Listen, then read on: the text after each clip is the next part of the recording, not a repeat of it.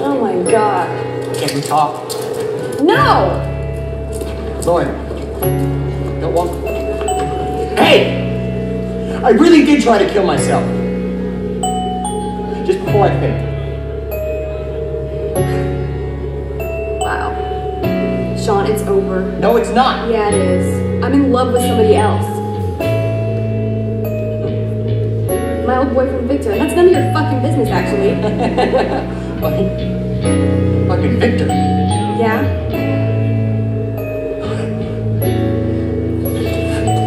What the fuck do you write me letters?